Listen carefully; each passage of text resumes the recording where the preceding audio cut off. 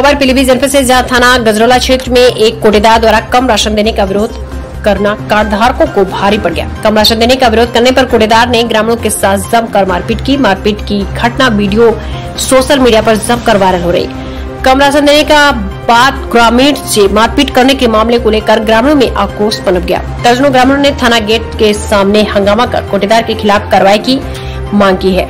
आपको बताते चले, गजरौला थाना क्षेत्र के ग्राम अग्यारी निवासी ग्रामीण तेजपाल सुरसपाल धर्मेंद्र गाँव के कोटे पर राशन लेने गए थे।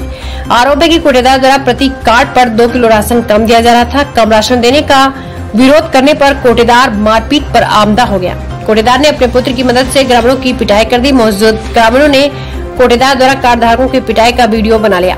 पिटाई का वीडियो सोशल मीडिया पर वायरल हो गया है। कोटेदार द्वारा मारपीट किए जाने से ग्रामीणों में गुस्सा पनप गया। ट्रैक्टर, ट्राली पर सवार होकर दर्जनों ग्रामीण गजरोला थाना जा धमके थाना गेट पर घंटों हाई वोल्टेज ड्रामा चलता रहा। ग्रामीण कोटा निरस्त कर कोटेदार के खिलाफ कड़ी कार्रवाई की मांग करते रहे। ग्रामीण ने बताया कि पूर्व में भी जिलाधिकारी को शिकायती पत्र देकर कम राशन देने की शिकायत कर चुके हैं, लेकिन अभी तक कोई कार्रवाई नहीं हुई। तुम कहाँ जा रहे हैं? बताओ तुम कहाँ जा रहे हैं? कहाँ जा रहे तुम? हम कचू ना जा रहे हमारा राशन पूरा चाहिए हम कचू ना जा रहे तुम कहाँ जा रहे हम राशन तुम तुमने पहले तोलो कहा तुम पहले ना तुम्हें पता जा बात। तुम्हें पहले ना पता जा बात। बताओ तो पहले। कि तुम्हारा रिपोर्ट लगाया तो तुम्हें समझ में आया तुम्हारे जा बात। क्यों ला अच्छा ला क्या?